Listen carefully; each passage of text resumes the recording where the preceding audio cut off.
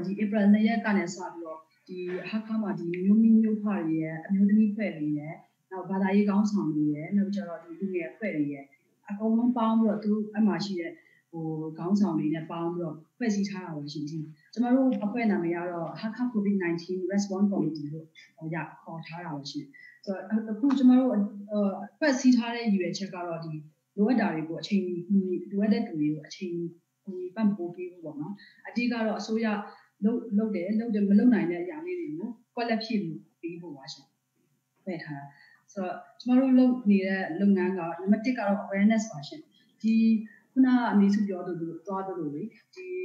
သက်ဆိုင်ရာဆိုရကလည်းအဲ့လို loud speaker နဲ့ on တယ် on တယ် on တယ်ဒါပေမဲ့ကားလမ်းမရောက်တဲ့ဟိုလမ်းကျူလမ်းကြားလေးတွေမှာရှိတဲ့ဒီလူတွေကမကြားရအောင်လို့ဖြစ်ဆိုတဲ့ဟာလေးတွက်တက်လာတော့เนาะဆိုတော့အဲ့ဒါကိုကျမတို့ဒီ volunteer ကကျမတို့လူကြီးကအယောက်20ကျော် လူငယ်ကအယောက်205ယောက်ရှိပါရှင်သူတို့ကိုတေချာ form လေးတွေဖြည့်ခိုင်းပြီးတော့လေတကယ်ကို commitment ကောင်းကောင်းရှိအောင်ပေါ့နော်အဲလောက်ခိုင်းထားတယ်သူတို့လည်းတကယ်စိတ်စိတ်စီနာတကယ်ထက်သန်သွားလို့ညီပြီးတယ်အဲ့ဒီမှာဆိုင်ငယ်တွေနဲ့အဲ့ဒီလမ်းကြိုလမ်းကြားတွေအထိပေါ့နော်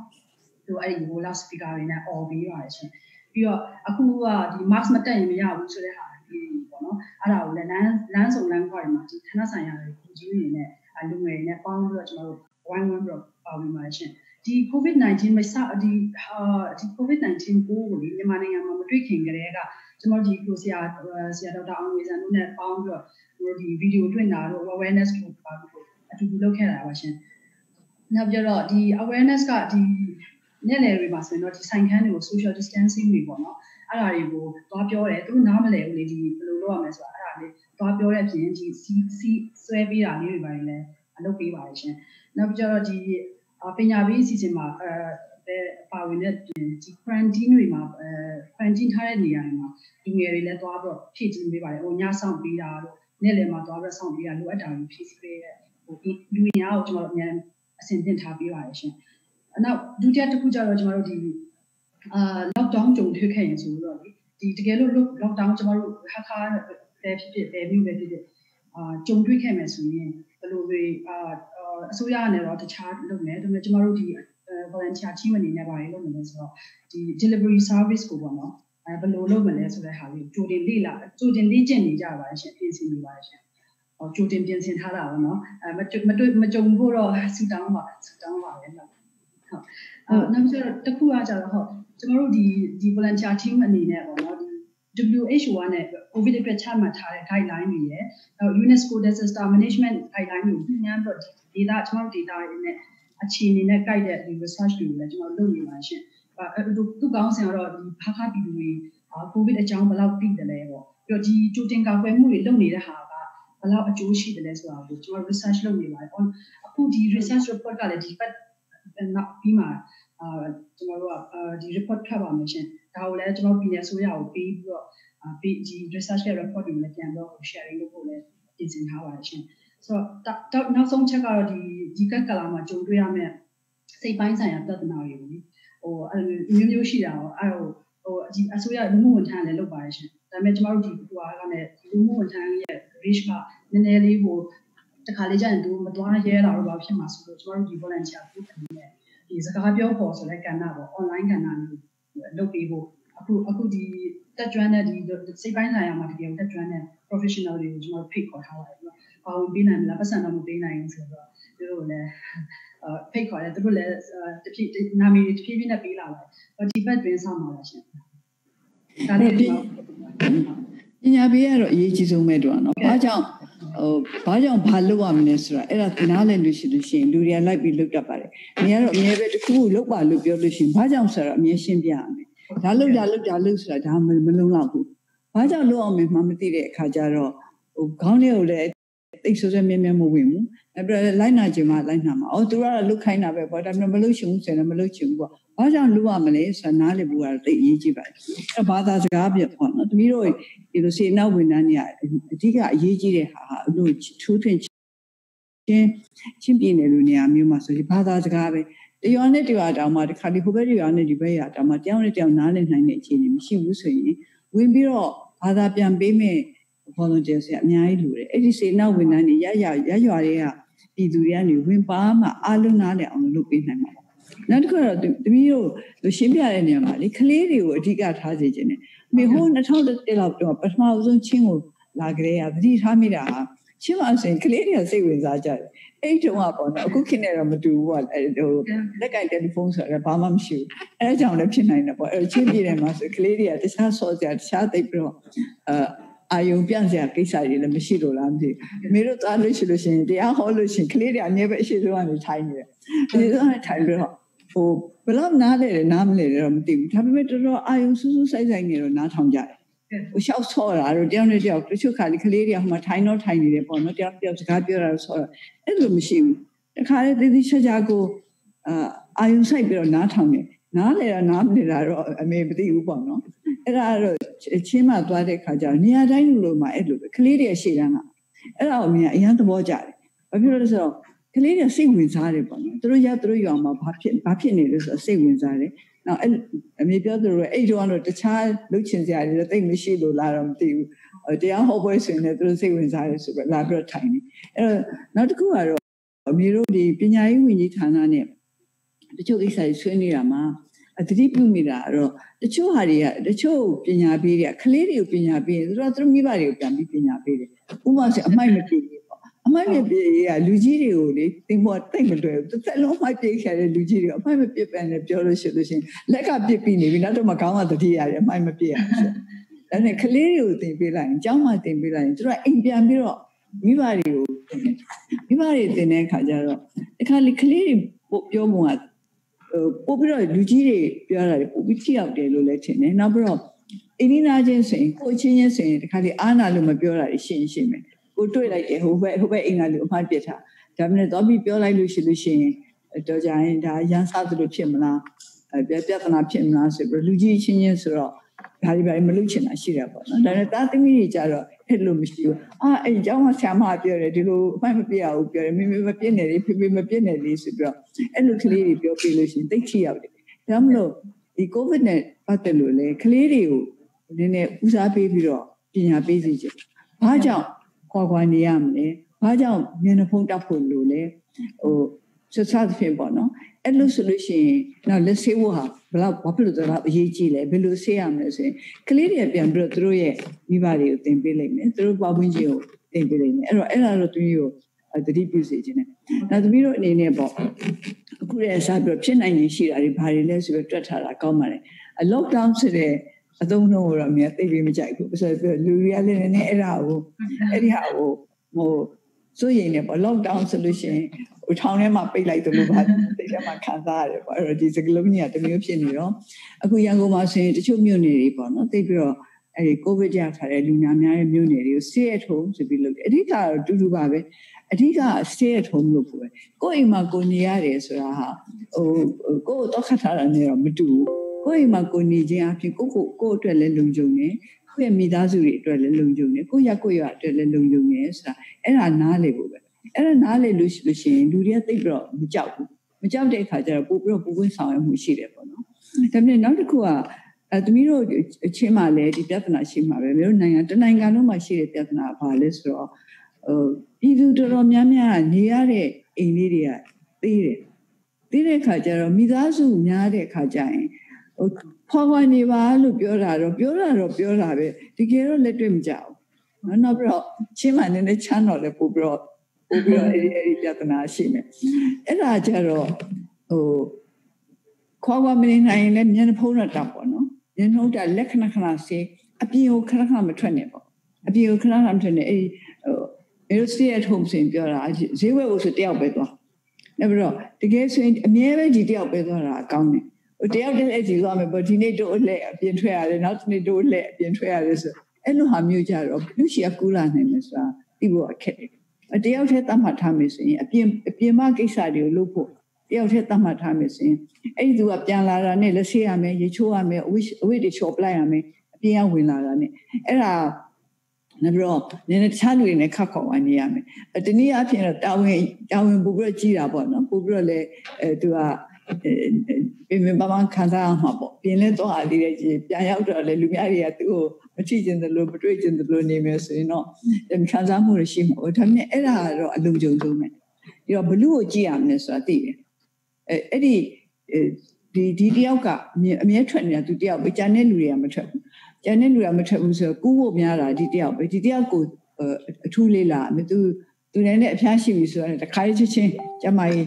ဌာနကိုတော့အမေစသဖြင့်ပို့ပြီးတော့ဟိုပို့ပြီးထိန်းချုပ်ဖို့လွယ်တာပေါ့ အဲ့ဒါလေပြီးတော့တတ်နိုင်မြတော့ပြောပေးစီခြင်းနဲ့ဘာဖြစ်လို့လဲဆိုတော့မိသားစုချင်းချင်းနိနိကကမနေရဘူးဆိုတာအိမ်လေးသေးသေးလေးမှာနေတဲ့မိသားစုကိုပြောဖို့ကတော့အင်တာမခက်ပါတယ်အဲတခြားနည်းမျိုးမျိုးနဲ့ပေါ့တီထွင်စိတ်နဲ့ပေါ့ဘယ်လိုပုံစံနဲ့ကာကွယ်မလဲဒီအခြေအနေမှာကိုကိုရဲ့ကိုရကိုရရဲ့အခြေအနေနောက်အခုဟိုဟိုဒီလိုဒီလိုပြောနေတာတော့ကြာပါပြီဒီတလားလောက်ခေရပေါ့နော်ဟိုအ ပူချိန်မြင့်တဲ့နေရာတွေမှာဆိုလို့ရှိရင်ကိုဗစ်ကပိုပြီးသက်သာတယ်ဆိုပြီးတော့ပြောကြတယ်တချို့ကအခုမနေ့ကဆိုလို့ရှိရင်သူတေဒီပညာရှင်တယောက်ကတော့ဒါဒီကိုဗစ်ကနေပြီးတော့အပူချိန်မြင့်တဲ့နေရာတွေမှာနောက်ပြီးတော့ထိုင်းမိုင်းတဲ့နေရာတွေမှာဆိုကိုဗစ်ပိုကကြာကြာမခံဘူးလို့ဆိုရင်အဲ့ဒါတော့ဘယ်လောက်ထိသိကြလဲတော့မသိသေးဘူးပေါ့နော်အဲ့တော့အမေရိကန်မှာအများကြီးရှိတာတော့နေပူပဲ နေပူပဲနေပူစားလို့မို့တော့နည်းနည်းအပြင်ကောင်းလာလို့စဉ်းစားရတယ်ပြဿနာတော့မဖြစ်နိုင်ဘူးအသားညိုသွားတာတခုပဲရှိနိုင်တယ်တခြားပြဿနာတော့နည်းနည်းနေပူစားသောသားလုံးလို့မဖြစ်နိုင်ဘူးလို့ထင်ပါတယ်အဲ့ဒါလေးတွေလည်းစမ်းကြည့်ရင်ကောင်းမလားလို့ဒါတော့အမေတို့ကျမရဲ့ဝင်ကြီးဌာနအောင်မေးဦးမယ်ပေါ့နော်မေးပြီးတော့ကျမရဲ့ဝင်ကြီးဌာနသဘောဒီဟာကိုလုပ်ရင်ကောင်းမယ်အဲဗီယက်နမ်မှာဆိုလို့ရှိရင်သူတို့ covid 19လို့ထိန်းချုပ်တဲ့နေရာမှာတိတ်ပြီးတော့ အာထိရောက်တယ်လို့အားလုံးကသတ်မှတ်ရတော့ပေါ့နော်အခုတည်းဒီသူတို့က200ကျော်ပဲရှိသေးတယ်200ကျော်တဲ့မတက်သေးဘူးမတက်သေးတော့အဲ့ဒီသူတို့လုပ်တာတခုကတော့သူတို့ဗီယက်နမ်မှာတော့အဲ့နေပူဇာလှုံဖို့သူတို့အားပေးတယ်လို့မျိုးတို့ကြားရတယ်အဲ့ဒီမျိုးမျိုးတော့ရှားမှာပေါ့အဲသမီးတို့ဟိုစိတ်နဲ့စိတ်နှစ်သိမ့်မှုနဲ့ပတ်သက်လို့အေးအစီအစဉ်တွေလုပ်ထားတယ်အဲ့ဒါလည်းကောင်းပါတယ်အခုနောက်နောက်ပိုင်းနည်းနည်းပို့ပြီးတော့ဒါလိုအပ်လာတယ်လိုအပ်လာတယ်ဆိုတာဒီ covid-19 အိစာဘလောက်ဘလောက်ကြာအောင်လဲဆိုတာပြောလို့မရအောင်ဘယ်တော့ကြာအောင်လဲဆိုတာပြောလို့မရဘူးဆိုတော့ဒီယောဂကလည်းတခါမှအရင်တော့ဒီဒီပါမေမမဖြစ်ဘူးဖြစ်ဘူးတဲ့အခါကျတော့အခုမှအခုကာကွယ်ဆေးစဉ်အခုမှစပြီးရုန်းကန်ပြီးတော့သူဟိုထွင်မှုစူးစမ်းနေတယ်ပေါ့နော်ကာကွယ်ဆေးဆေးဆိုတာလည်းချစ်ချင်းလဲအခုတော့သူတို့စပြီးလူပေါ်မှာစစနေပြီ ဂျာမနီနဲ့အင်္ဂလန်မှာစစနေပြီလို့နားလေတယ်အဲ့တော့စစမ်းပြီးတော့ဘယ်လောက်လောက်ကြာမှဒီဟာကိုသုံးသင့်တယ်ဆိုတာကိုဆုံးဖြတ်မလဲတော့မသိဘူးအဲ့ဒါပြီးမှတခါထုတ်အောင်အဲ့အဲ့ဒီအခြေအနေကဘယ်တော့မှရောက်မယ်ဆိုတာမသိဘူးဒါအောင်မြင်မယ်မအောင်မြင်မယ်လည်းခုတည်းမသိသေးဘူးအဲ့တော့ရေရှည်ပေါ့နော်ရေရှည်ခံနိုင်ရရှိအောင်လို့ဆိုတာနောက်ဆုံးကျတော့စိတ်ပဲစိတ်ခံနိုင်ရအရေးကြီးပါတယ်စိတ်ကရှော့လိုက်ပြီဆိုလို့ရှိရင်တော့ဒီစိန်ခေါ်မှုတွေကိုကြော်လှဖို့ဆိုတာအင်တာမခက်သွားပါလိမ့်မယ် အဲကြောင့်မသမီးတို့ကနေပြီးတော့ဝိုင်းပြီးတော့အားပေးစီခြင်းနဲ့ဒီဟိုစား counseling ပေါ့နော်စိတ်နဲ့ရေးကိစ္စကလည်း तू ကစေနာရှိအောင်နဲ့လည်းမလုံလောက်သေးဘူးကျွမ်းကျင်မှုတော့အတိုင်းအတာတစ်ခုထိလိုတယ်အဲ training လိုတာပေါ့နော်လေ့ကျင့်ပေးဖို့လိုတယ်အခုကျမရေးဝန်ကြီးဌာနရောလူကယ်ပြန်ဌာနရောဒီဟာတွေလုပ်နေပါတယ်ဘယ်လိုပုံစံနဲ့ဟိုနှစ်သိမ့်မှုပေးရမလဲဆိုတော့အဲတော်အခုကျမရေးဝန်ကြီးဌာနကနေ လူကယ်ပြန်ဌာနကနေကြည့်လိုက်တဲ့အခါကျတော့တော်တော်များများစိတ်ပူတာတွေကတော့ကျမရေးအတွက်ပူတာတွေလည်းရှိတယ်စီးပွားရေးအတွက်အနာဂတ်အတွက်ပူတာတွေလည်းရှိတယ်တချို့ကြတော့စိတ်ဖြီးစည်းမှုပဲပေါ့နော်အကိုဟိုလူနဲ့မတွေ့ရဒီလူနဲ့မတွေ့ရဒီကျမရေးကအဓိကမဟုတ်ဘဲစိတ်ဖြီးစည်းမှုကအဓိကဆိုတာလည်းရှိတယ်အဲ့တော့အဲ့ဒါတွေအားလုံးကိုတော့ဒီလိုအနေနဲ့ကင်တွေ့ရမှာပဲကြိုက်တွေ့ရမှာပဲနောက်ဘယ်လောက်လောက်ကြာမယ်မှမသိတဲ့အခါကျတော့ အမေကတော့အမြဲပဲပြောတယ်ဟိုတရက်ချင်းတစ်ချက်ချင်းပဲစဉ်းစားပါဒီနေ့ကိုကြော်သွားပြီဒီနေ့ကြော်သွားပြီကဲဒီနေ့တနေ့တော့ပြီးသွားပြီပေါ့နောက်တနေ့တစ်ခါပြန်စမယ်နောက်တနေ့တစ်ခါပြန်စနိုင်တယ်ဆိုတာဒါလည်းအခွင့်အရေးပဲဒီနေ့ပြီးဒီနေ့ဒီနေ့ကုန်သွားရင်ဒီတနေ့မှာဘာပဲဖြစ်ဖြစ်နောက်တနေ့ကအသက်ပြန်ဖြစ်တာပဲအဲ့ဒီမှာပြန်စားလို့ရတယ်ပြန်ပြီးကြိုးစားလို့ရတယ်အဲ့တော့တပီးတို့အနေနဲ့စိတ်အင်အားတွေတော့ထည့်ပြီးဖို့ကအများကြီးအများကြီးလိုအပ်ပါတယ်။နောက် ဒီစင်ရဲ့အဲ့ဒီဟာမှာလည်းသူတို့ဘာသာစကားကျွမ်းကျင်တဲ့လူတွေလိုမယ်နော်။ဟုတ်ကဲ့။အဲ့ဒါတွေတော့သူစုစုထားတာရှိလား။ဟုတ်ရှိထားရှိပါတယ်ရှင်။အခုက၄ယောက်လောက်ကကျွန်တော်တို့ဒီကဏ္ဍကဏ္ဍပေါ့နော်ဒီ online ကဏ္ဍကိုပါပြီး join ပါလို့ရှင်။တကယ်ကို professional ချင်းလူမျိုးလည်းဖြစ်တယ်။နောက်ကျ professional counselor လည်းဖြစ်တယ်။သူတို့ကန်ဆန်းထားတာရှိတယ်ရှင်။အဲ့လိုဆိုလို့ဆိုရင်သူတို့ထိရရောက်ဟိုကုညီနိုင်မှာပါ။ ဒီနောက်ပြီးနောက်ဆုံးတော့သားကိုကောင်းကြားနေရပြီနော်။ဟုတ်ကဲ့ကြားပါပြီအဲ့တော့ဒါကတော့ဟိုမြို့နယ်စီပင်တရားရေးဖွဲ့ဖြစ်တယ်ဟာကာဆိုတော့တနည်းအားဖြင့်ဆိုရင်အုပ်ချုပ်ရေးပိုင်းဆိုင်ရာပေါ့နော်အခုလုပ်နေရတဲ့ကိစ္စမှာဆိုရင်ဟိုကျမရေးပိုင်းဆိုင်ရာပါတယ်အုပ်ချုပ်ရေးပိုင်းဆိုင်ရာပါတယ်နောက်ပြီးတော့ပြည်သူဘက်ကပါတယ်နောက်ပြီးတော့အဲ ခံရတဲ့လူနာတွေလည်းပါတာပကူကဆရာပြောတဲ့အခါမှာခေါင်းထဲမှာဝင်လာတယ်ဆရာပြောတော့ဆရာလူနာတွေနဲ့ဆရာဗီဒီယိုကနေပြီးတော့ဆက်သွယ်လို့ရတယ်ဆိုတော့ဒီဗီဒီယိုကွန်ဖရင့်တခုမှာတော့အဲဒီယောဂဘိုးရတဲ့လူနာတွေနဲ့ပဲဆက်သွယ်ပြီးတော့ဆွေးနွေးလို့ရှိလို့ရှိရင်ကောင်းမလားမသိဘူးလို့နေ့စိတ်ထဲမှာဖြစ်လာတယ်ဒါမှလည်းအများကလည်းသိရအောင်လို့ပေါ့နော်ဒီယောဂဘိုးရပြီဆိုရင်ဘယ်လိုနေလဲဒီလိုကုသတဲ့နေရာမှာဘယ်လိုနေလဲနော်ကိုယ့်ရဲ့စိတ်ခံစားမှုကဘယ်လိုအရေးပါလဲဆိုတာ အဲ့ဒါတွေလည်းဟိုစဉ်းစားပါမယ်အဲ့တော့ဒါကတော့အဲ့ဒီအုပ်ချုပ်ရေးပိုင်းဆိုင်ရာအတွက်ကဒီညွှန်ကြားချက်တွေကိုလိုက်နာဖို့ပြည်သူတွေလိုက်နာဖို့ကိစ္စမှာအခက်အခဲတွေရှိတယ်ဟုတ်ကဲ့မီဟိုညွှန်ကြားချက်တွေကိုလိုက်နာဖို့ဆိုတဲ့အချိန်မှာယောဂဆဆဖြစ်ခြင်းတော့ပြည်သူအလုံးကကြောက်တယ်ဗျဟိုယောဂဆဖြစ်ပါပြီဆိုတဲ့အချိန်မှာတော့ပြည်သူတွေကကြောက်ပြီးတော့တော်တော်လေးလိုက်နာဒါမှနောက်တစ်ပတ်နှစ်ပတ်ကြာတဲ့အချိန်ကျတော့လူလူပြည်သူတွေကအများစုအပြင်ပြန်ထွက်လာတာတော့အဲ့လိုမျိုးရှိပါတယ် ဒါနဲ့ပတ်သက်လို့ကျွန်တော်တို့ဒီအုပ်ချုပ်ရေးလိုင်းနဲ့ဒီရပ်ဖက်ဖွဲ့စည်းနဲ့ပူးပေါင်းပြီးတော့ရက်ွက်တီတဲ့ကိုလည်းတောက်လျှောက်ပညာပေးရုံဒီမှာကကျွန်တော်တို့ရက်ွက်ထဲမှာရှိနေတဲ့ချင်းပြည်နယ်မှာရှိနေတဲ့ဒီရက်ွက်အုပ်ချုပ်မှုဆယ်အိမ်မှုရာအိမ်မှုတွေကနေသူတို့ကအိမ်တရာရောက်သွားတော့ပညာပေးပါတယ်ဗျဟိုကျွန်တော်တို့ loss speaker နဲ့ audio နဲ့မပြည့်စုံတဲ့အတွက်ဟိုလုံလောက်မှုမရှိတဲ့အတွက်ဆိုတော့ကျွန်တော်တို့ကတအိမ်တစင်းကိုကျွန်တော်တို့ရက်ွက်အုပ်ချုပ်ဟိုဆယ်အိမ်မှုတွေနဲ့သူတို့ရဲ့ဆယ်အိမ်မှုအလိုက်ကိုသူတို့ဟိုထပ်ပြီးတော့ဆော်ဩတာရှိပါတယ် ဟိုအဲ့ဒီမှာလိုက်နာမှုအနေနဲ့တော့ကျွန်တော်တို့တိုးတက်မှုကတော့80ရာခိုင်နှုန်းလောက်အထိတော့အလုံးကလိုက်ဟို80ရာခိုင်နှုန်းလောက်တော့လိုက်နာပြီမယ်ကျန်တဲ့30ရာခိုင်နှုန်းလောက်ကတော့ဟိုလိုက်နာမှုအားနေသေးတာကိုတွေ့ရပါတယ်။ဘာကြောင့်အားနေလဲဆိုလို့ရှိရင်သူတို့သူတို့ကဘ ഹു တုရအားနေတာလေတခုပါပါတယ်ဗျ။ဒီယောဂကိုသူတို့ကြောက်အကောင်းမှန်းတော့သိပေမဲ့ဘယ်လိုကာကွယ်ရမယ်ဆိုတာကိုသူတို့ကအဲ့ဒါကိုတော့မသိဘူး။ကျွန်တော်လမ်းမှာထွက်လာတဲ့လူ mask မတပ်ဘူးအဲ့လိုမျိုးဆိုကျွန်တော်တို့မေးလိုက်တဲ့အခါမှာသူက mask ကိုသူကအိတ်ထဲမှာထည့်ထားတာလို့ အဲ့လိုမျိုးကြီးပါလာတယ်အဲ့တော့အဲ့ဒါဆိုလည်းအောက်ချထားတာလည်းပါသေးတယ်ဟုတ်ကဲ့ဟုတ်သူတို့မေးလိုက်ပြီဆိုအဲ့ဒီ mask ကဘာလို့ပို့လို့ဆိုအသက်ရှူကြလို့တဲ့အဲ့ဒါကြောင့်မလို့ကျွန်တော်တို့ကအိတ်ကထဲထဲထားတာတဲ့မဟုတ်ဘူးလို့အဲ့ဒါကိုတခါတည်းဒီတိုင်းတမှာလို့အချိန်ပြည့်တမှာလို့အိမ်ထဲပြောင်းဝင်လို့ရှင်လည်းစီးရမယ်အဲ့လိုပေါ့အဲ့လိုမျိုးပညာပေးရတာတော့ဟိုကျန်တဲ့30ရာခိုင်နှုန်းလောက်တော့သူတွေကတော့ဘူးသူတာနေသေးတာပါတယ်ကိုဗစ်အကြောင်းသိလားဆိုတော့သိတယ်ကြောက်စရာကောင်းတာကိုသိလားဆိုတော့သိတယ်တဲ့ ဘယ်လိုကကွဲရမလဲဆိုတော့ master ရမယ်လို့တော့ပြောတယ်အသက်ရှူကြလို့ဆိုတော့ဆိုတော့အဲ့လိုမျိုးအဲ့ဒါတက်လို့ရှိရင်အသက်ရှူရတာမဝါဘူးအဲ့လိုမျိုးဖြစ်တယ်အာပြောမှာပေါ့အသက်ရှူကြထားတယ်အသက်ရှူလုံးလုံးရပ်တော့တာပို့ဆိုတယ်နော်ဟုတ်ကဲ့အဲ့လိုပြောပါတယ်ဗျမာစတာထားလို့ရှိရင်အသက်ရှူကြရုံကြတယ်လက်ရပ်သွားမှာမဟုတ်ဘူး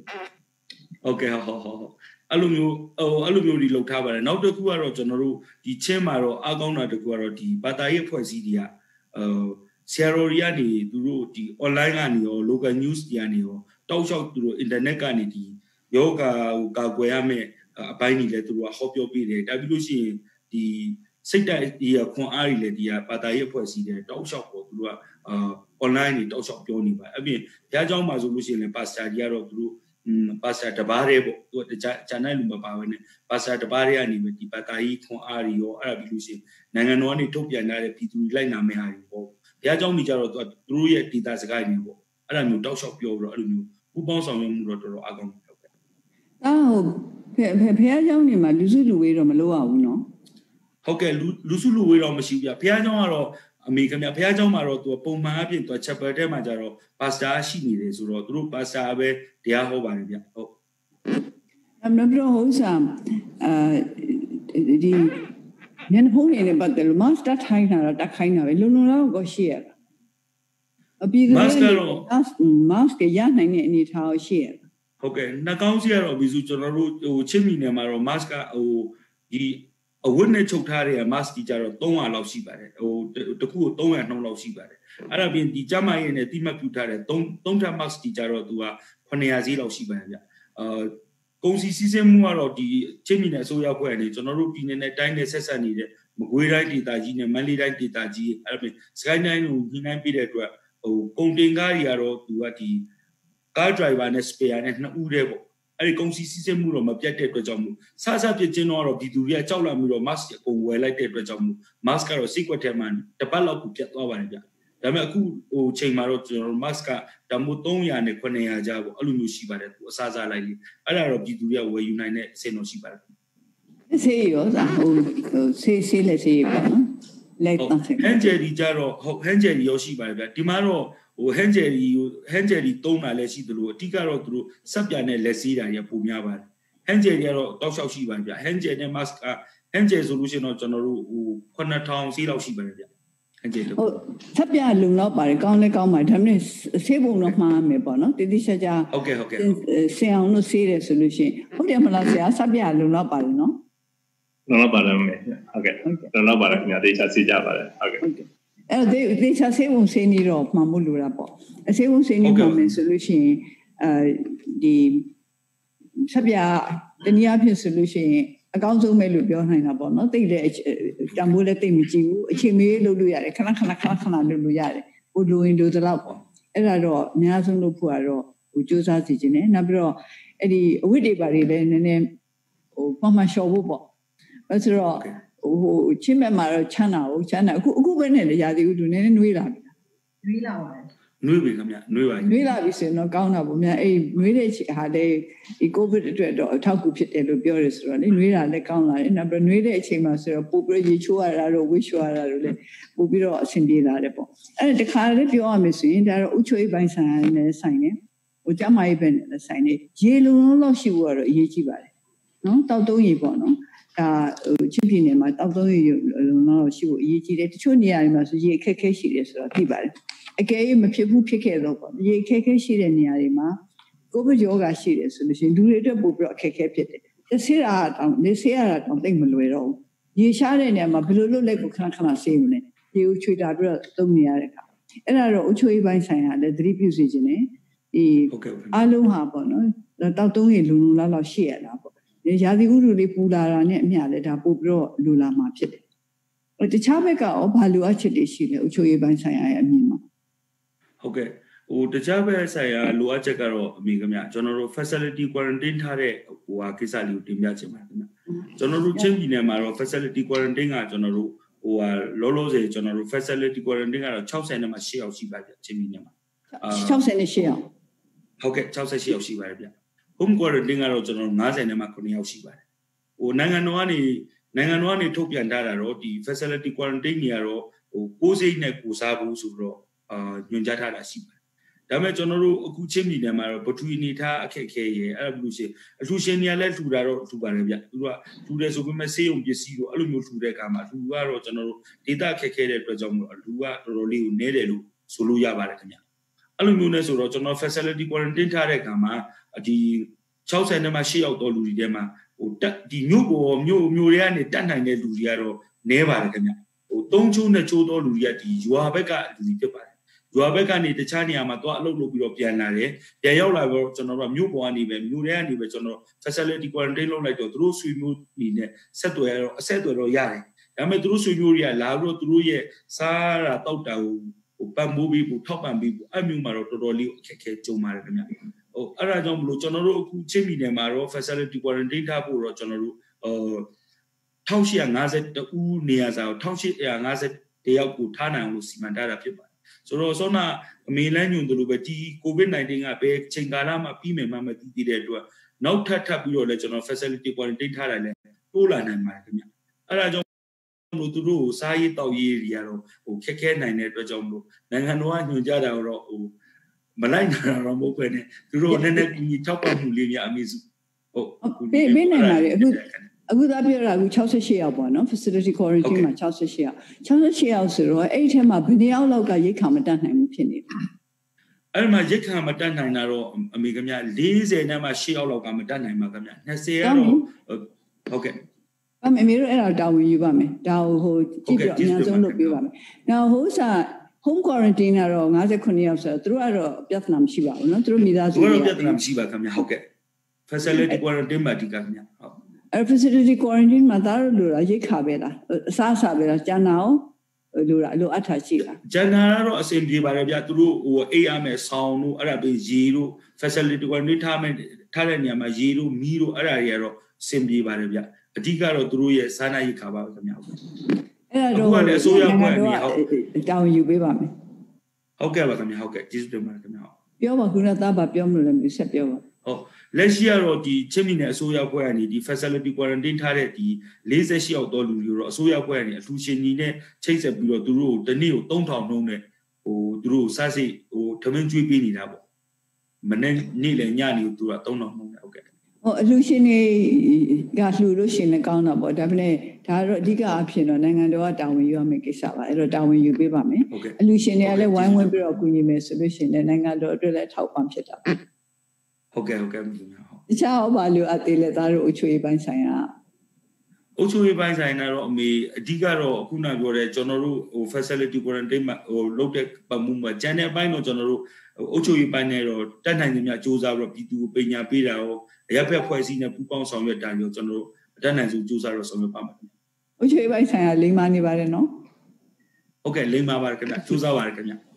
ဟုတ်ကဲ့လိမ္မာရဆိုတော့ကျေးဇူးတင်ပါတယ်ဝင်တာပါတယ်ဟုတ်ကဲ့ဆရာအဲ့တော့ဆရာစိုးစိုးကပြောသွားတဲ့အထက်မှာတော့ပေါ့နော်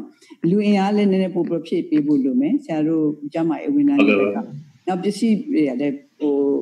ဟိုဆေးဘက်ဆိုင်ရာပေါ့ကျမရေးဘက်ဆိုင်ရာပစ္စည်းတွေကလည်းဖြည့်ဆည်းပေးဖို့လိုမယ်ဆိုလို့ရှိရင်ဆရာတို့အနေနဲ့တော့စည်ရင်ပို့ပေးစီချင်ပါတယ်ဘယ်ဘယ်ဟာတွေပို့ဘယ်ဟာတွေလိုအပ်ချက်ရှိလဲပေါ့နော်အခု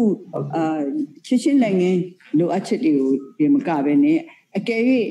ဒီဒါဆက်ပြီးဖြစ်နိုင်မယ်ဆိုရင်ဒါလည်းပြောလို့မရဘူးလေဆရာဟိုမိတော့အမြဲပဲပြောတယ်အကောင်းဆုံးတက်မျှော်လင့်မယ်အဆိုးဆုံးတက်ပြင်ဆင်ထားမယ်ပေါ့အဲ့တော့အဆိုးဆုံးအတွက်ပြင်ဆင်ရမယ်ဆိုလို့ရှိရင်ဘာတွေလိုအပ်မလဲဆိုတော့စောစောစီးပြောထားလို့ရှိရင်ချင်းပြင်းတွေကသွားရေးလာရေးလည်းခက်တဲ့ခါကျတော့အချိန်တော့ဒီဘက်ကလည်းပို့ဖို့ကလိုပါတယ်ဟိုမြေပြမှာလည်းမဟုတ်ဘူးပေါ့ချက်ချင်းတရက်ချင်းရောက်ရောက်စီဆိုပြီးလို့လို့ကအမြဲမဖြစ်နိုင်ပါဘူးအဲဒါကြောင့်မလို့ဆရာတို့လိုအပ်တာတွေကိုတော့ဟိုစည်ရင်လုပ်ပြီးတော့ ကျမရေးဝန်ကြီးဌာနကိုပို့ပေးပါကျမရေးဝန်ကြီးဌာနလည်းအခုနားထောင်နေပါတယ်နားထောင်နေတော့ဒါပတ်သားထားမှာဖြစ်ပါတယ်အဲတော့ဆရာတို့လိုအပ်ချက်တွေကိုဟိုပံ့ပိုးပေးမှာပါအေးနည်းနည်းတင်ပြလို့ရမလားခင်ဗျာပြောပါဆရာကျွန်တော်တို့ကအခုဒီချိန်မှာကျွန်တော်တို့လူနာ9ယောက်ရှိပြီဖြစ်ပါတယ်အဲ့တော့ချက်ချက်ဖို့လည်းကျွန်တော်တို့ကမပြောနိုင်ပါဘူးသို့တော်လည်းခုနကတော့ကျွန်တော်တို့ပြင်ဆင်ထားပါလေအများကြီးဖြစ်ပါတယ်ခင်ဗျအဲ့တော့အခုလူနာဆောင်အစ်စ်အော် sorry ဝန်ထမ်းရာအစ်စ်မှာကျွန်တော်တို့ကထားရှိကြမှာလို့ဆိုလူနာ9ယောက်ထားခဲ့ဟင်နောက်ထပ်လူနာတွေတော့ဆိုဝန်ထမ်းရာအစ်စ်ကျွန်တော်တို့အဲ့မှာကျွန်တော်တို့ကသူတို့ isolation room နေနဲ့ကျွန်တော်တို့ထားတာပါခင်ဗျအဲ့လိုမှလည်းကုသပေးနေတာပါတကယ်လူနာတွေများထက်ထက်လာခဲ့မယ်ဆိုရင်ဒီလို isolate ထားဖို့နေရာကြီးကလည်းနည်းနည်းအဲရှိလာနိုင်တယ်ဆိုတော့ကျွန်တော်တို့မှာရှိတဲ့ human resources ကလည်းကျွန်တော်တို့ကဟိုကျွန်တော်တို့အုပ်စုမခွဲနိုင်ဘူးဆိုရင်ဒါသူတို့ကထိတွေ့မှုကအများနဲ့များနေတာလေတဲ့ကြောင့် HR လိုအပ်ချက်ရှိတယ်ဒါလည်းကျွန်တော်တို့ကကဆွေးနွေးတင်ပြခဲ့ဖြစ်ပါတယ်ကျွန်တော်တို့ဖို့ကဟိုစဉ်းစားထားမှာချင်းပြည်နယ်မှာတော့လူတစ်မျိုးနဲ့တစ်မျိုးကလည်းတော်တော်အဟမ်းအဟမ်းတန်းကောက်ပါဝေးတယ်လမ်းမဆက်တဲ့ဖြစ်တဲ့အခါမှာသက်ဆိုင်တဲ့မြို့တွေမှာလိုအပ်လာရင်ထပ်မံပြီးလူနာများများလာခဲ့တော့ထားမဲ့နေရာတွေဆိုတာမျိုးကျွန်တော်တို့ဒီစဉ်းစားထားဖို့လိုမယ်လို့ကျွန်တော်တို့လည်းဆွေးနွေးထားပြီးဖြစ်ပါတယ်ဒီလိုနေရာမျိုးမှာကျွန်တော်တို့ဒီ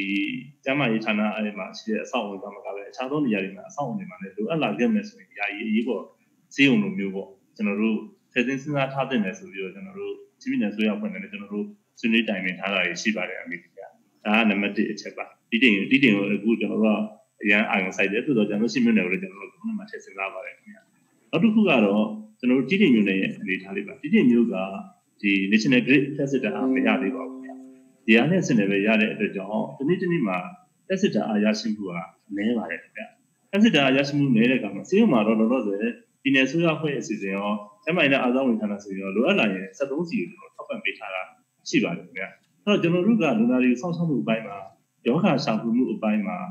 နောက်ကျွန်တော်တို့ဓမ္မရိုက်တာဓမ္မရှာဒီလိုအကုန်တန်ခါရတဲ့အပိုင်းတွေမှာတက်စစ်တာအားရလို့ဆိုတာလည်းတော့ဒီကိုအရေးကြီးပါတယ်ခင်ဗျာဒီလိုသာမကဒီရှိမှာပါဒီလိုနေရာမျိုးတွေကိုကျွန်တော်တို့တက်စစ်တာအားယခုတက်ပုံမူပြီးတော့ဘယ်လိုလောက်အောင်ရနိုင်ဖို့အတွက်လည်းဟိုစီမံဆောင်ရွက်ပေးနိုင်မယ်ဆိုရင်တော့ကျွန်တော်လည်းအထူးကျေးဇူးတင်ကောင်းတဲ့ တင်ပြလိုပါတယ်အမေခင်ဗျာအဲ့ဒါလေးလည်းကျွန်တော်